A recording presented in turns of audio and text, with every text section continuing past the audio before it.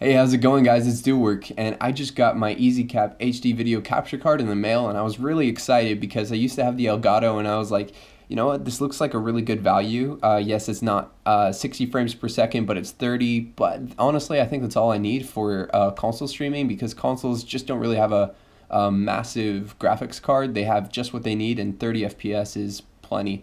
Anyway, uh, I was running into an issue where when I recorded my clips, I had no audio attached to them, and that's a major issue. So anyway, here's a quick tutorial on how to fix that. So as you can see, I'm at my Xbox One dashboard. I'm gonna hop over to settings, and once you're at your settings tab, you're gonna scroll down to display and sound.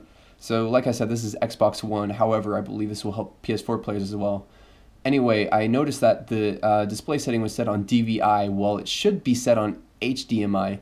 Uh, so DVI is just a video output and HDMI is video and audio as well. Um, so uh, once I sw swapped it over, it was on uh, standard definition, so it's easy. Just pick which HD resolution you want, 1080 or 720. And once you change that resolution and change it um, to uh, high definition, it should be no problem and you should have no more issues.